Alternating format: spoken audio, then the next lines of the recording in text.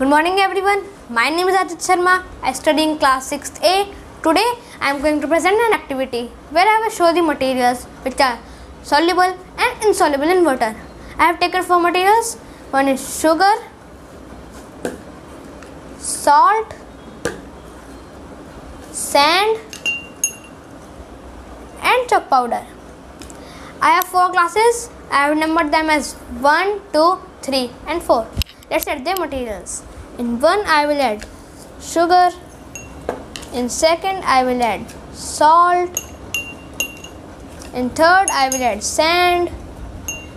And in 4 I will add chalk powder. Let's mix them.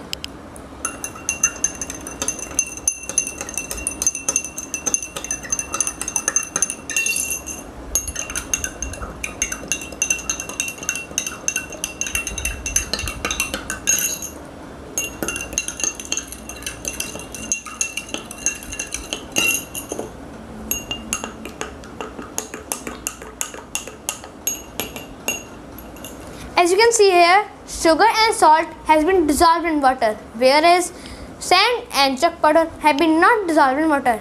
By this way, we have learned that sugar and salt are soluble in water, whereas sand and chalk powder are insoluble in water. Thank you.